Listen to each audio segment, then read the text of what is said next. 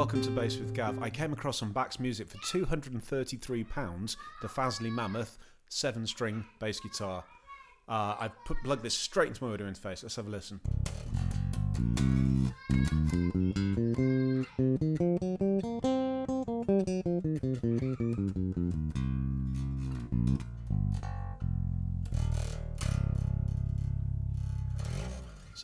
There we go. This that's the basic sound of the instrument. Let's let's have a listen to some of the controls.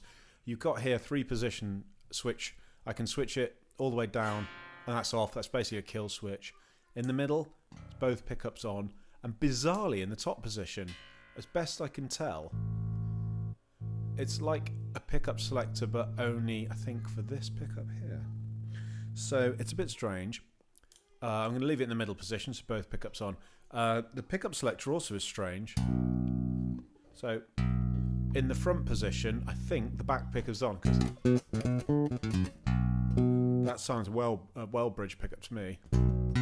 And I'll return my bass player card if that's not neck pickup. So, um, yeah, the pickup blender seems to be wired backwards. This might just be my bass, but um, you also have three part active EQ, so I can jack jack up the bass. Already I like the sound of the instrument a lot more.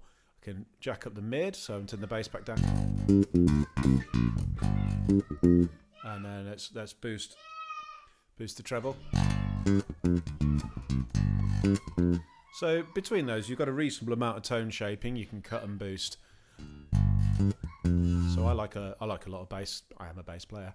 Um, and I'm not really a fan of bridge pickups. I just think they sound too pro bass playery, muso muso. Um, okay, so that's broadly the sound of the instrument. Of course, we have a volume control.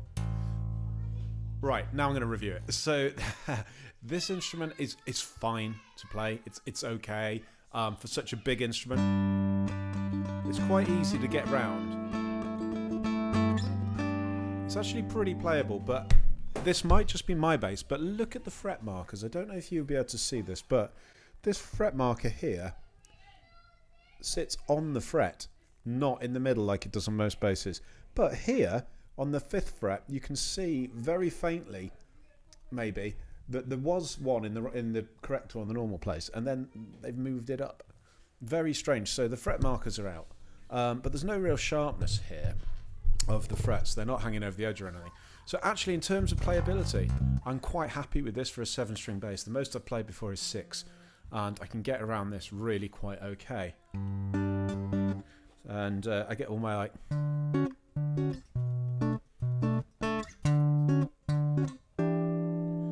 You get all those nice little kind of jazzy chords at the top. Sounds really nice, actually.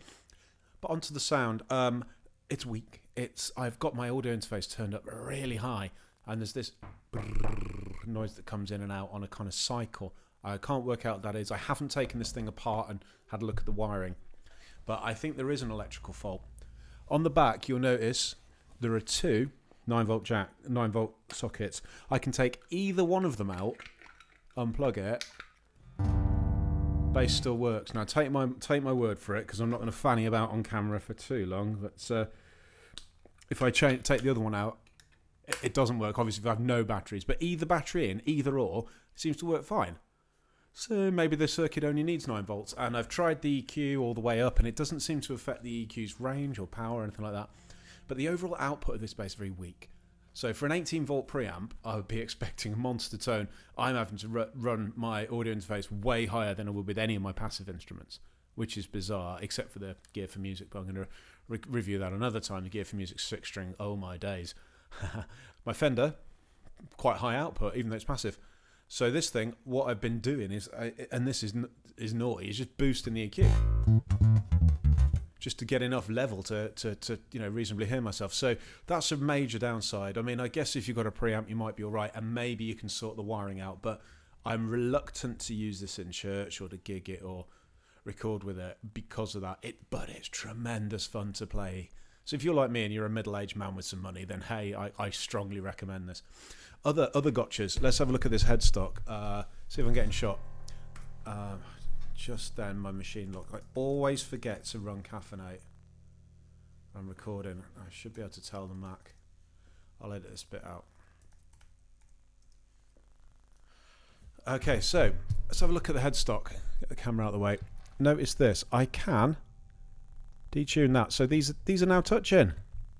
I can't turn it through. So the the actual position of the machine heads is wrong. You know, I don't know about these these three. I haven't tried with these three, but yeah, these top strings, I can actually make them clash. So it's possible to get it into an untunable state, which which sucks. Just let me whack that back into tune. Uh, the machine heads are really bad.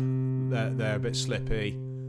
Um, they don't seem to hold their they hold their tune okay, but they have that thing where it's not like a smooth transition. It's it's it's you turn it a bit, it tunes a little bit, turn it a bit more, and it suddenly so it's, it's not very linear. They're not very high quality machine heads, but 233 quid and there's seven of them. I'm not really complaining. I'm just making you aware if you are looking to purchase a seven string bass what the limitations are.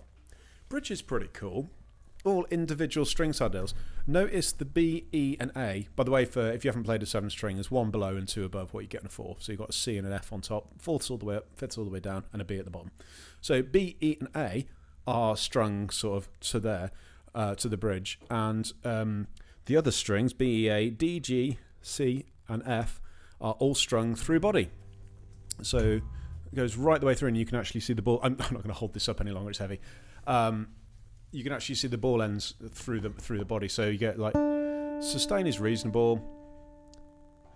So yeah, pretty happy with with the actual layout of the instrument. Happy with the playability. Frets are okay. Intonation's not too bad.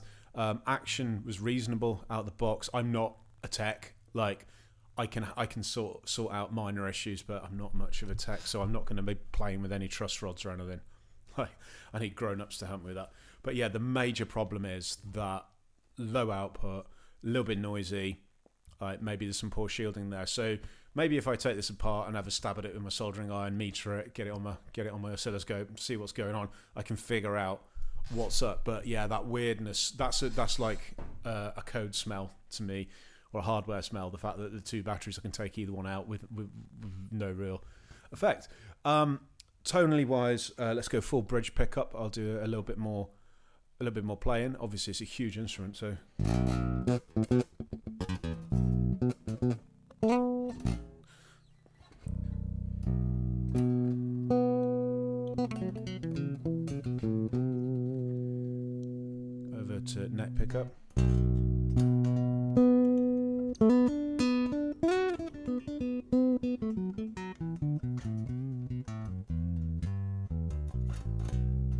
Suddenly gone very nervous about my playing because I'm not that familiar with the seventh string.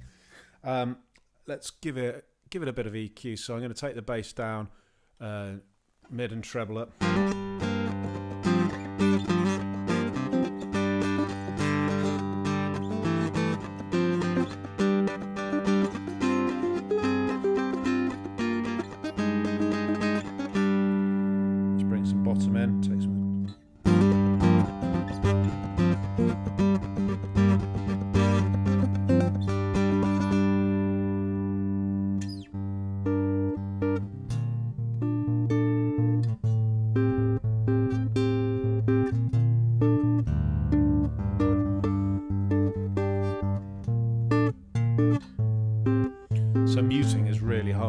As you'd imagine.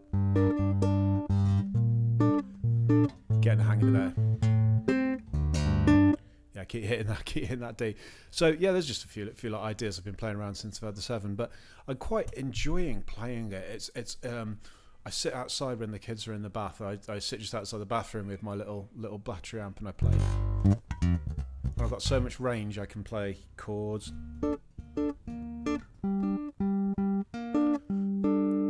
also play. So yeah, there's a, there's a lot of sonic possibility with the instrument. Um, so in terms of the balance, yeah, it's a bit of a neck diver, but to be honest, it's really not that bad. I don't feel like I'm fighting it up all the time. You know, like some some Les Pauls got really heavy headstock. I mean, obviously they sound amazing as well to compensate, but yeah, the, uh, the it's it's I'm not wrestling it. Oh, come on to to that Gear4music it's the way I'm wrestling that. But it sits really comfortably. It's got a nice long bottom horn. So it rests nicely on your leg. The body shape's quite good. It's cheap wood, you know. There's there's nothing like fancy here. Um, looking on the back of the neck, though, it's so satisfying seeing the, the physical size of this thing. People people are impressed when they see it, sheer the physical size of it.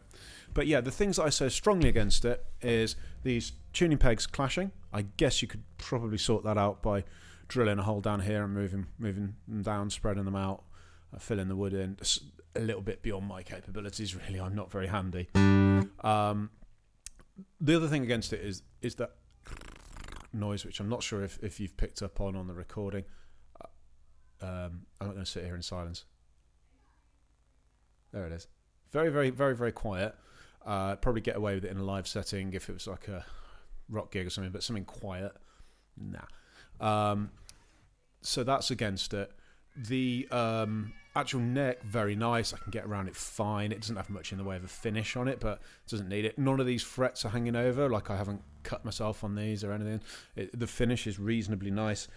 These fret markers being in the weird position, uh, I've never seen that in my life before. But the fact that like it looks like someone did it right and then came back and did it wrong is bizarre. It just says it's made in a factory by non-musicians, so I would suspect the instrument quality is therefore variable. Um, the EQ is nice. The EQ works. Like get a nice like I can get a nice like bassy tone. Then I can bring some treble and get some like get some aggression out of it. So I like the sound of the instrument. Actually, it's not that bad considering it's cheap pickups and everything. But the fact that it's an 18 volt preamp and I, and and it's that quiet, maybe there's something individually wrong with this instrument, or maybe it's the the line. So here endeth the review. 230 quid. Yeah, if you've got money to spare and you really want to try a, an extended range instrument, this is probably as good as you're going to get. I know Harley Benton used to do one. That's what I initially tried to buy uh, secondhand, but the seller on Reverb had already sold it. And there are like other manufacturers that do one, but this super cheap and it arrived like two days later after I ordered it. And it's been super fun to play, but I ain't gonna gig it, I don't think play out.